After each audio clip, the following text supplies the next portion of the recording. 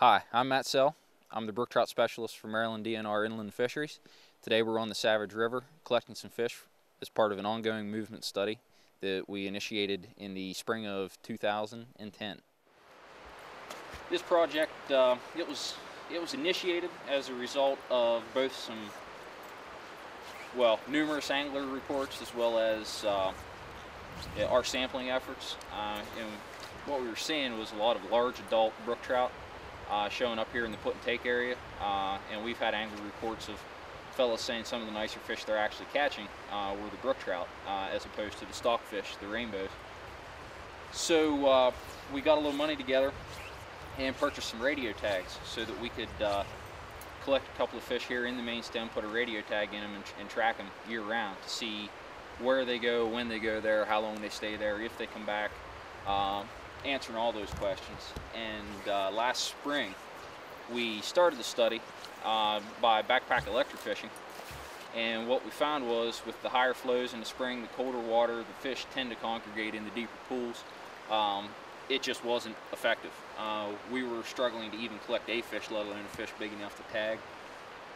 So uh, you hear all the angler information, all the angler reports about catching these fish. We decided maybe we'll just go out and try to hook and line them. So that's uh, that's why we're out here. That's why we're fly fishing for work. I, uh, today's the kind of day that I love my job, no doubt about it.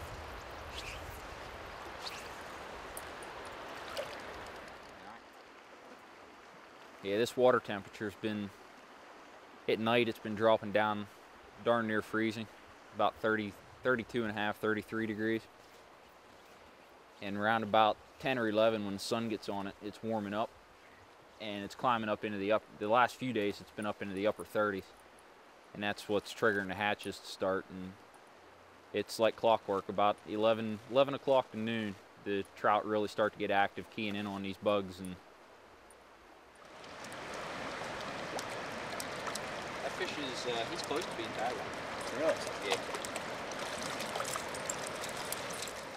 We have the fish in what I call the knockout bucket, and all I'm going to do is add some uh, clove oil to the bucket, which will anesthetize the fish. Add about a milliliter in there. Stir it up.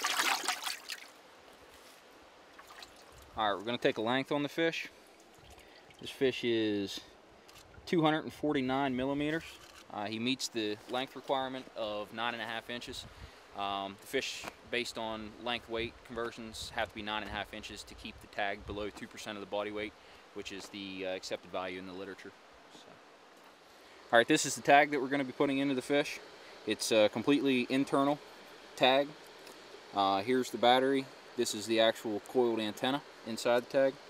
Uh, there's a magnet on there right now. This is the frequency that the tag will emit. The magnet has the, the tag basically turned off so you don't kill your battery. And now that the, the magnet's removed, uh, it'll start to chirp. And if you get it near near the receiver, that chirping sound saying the tag's working fine. Okay, this fish is ready to tag. He's uh, totally knocked out. Uh, we're going to put him on this sponge. It'll help to protect him during the uh, tagging process. And basically we're going to come down just off the uh, ventral midline and make an incision, roughly three quarters of an inch long. And take the tag out of the disinfectant, insert the tag into the hole, slide the tag in, just like so. Kind of work it in so it finds its finds its place. Now we'll stitch him up.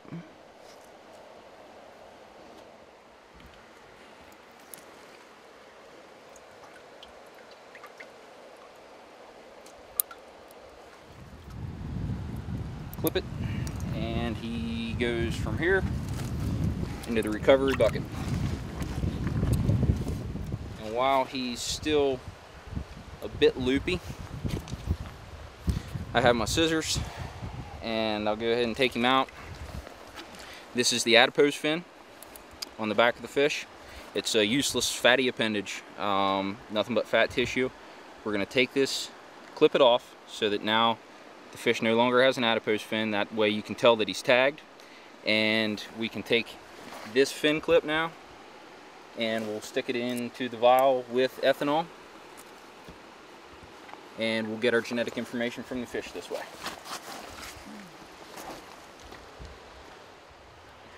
So there's the sutures. Everything seems to be holding fine. Uh, it's closed up nicely.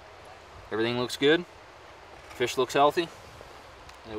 And lay it in the river here. Gone. She's happy to be free. Yes.